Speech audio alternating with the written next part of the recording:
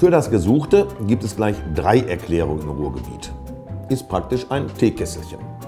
Weißkohl kennt jeder, essen auch die meisten gerne, am liebsten durcheinander mit gehacktes Bällchen. Aber wir im Ruhrgebiet sagen da nicht Weißkohl zu, wir sagen was anderes.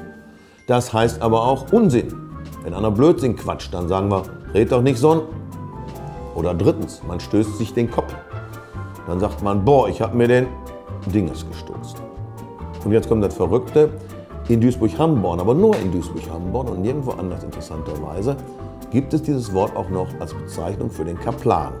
Dann wären wir sogar bei vier Möglichkeiten.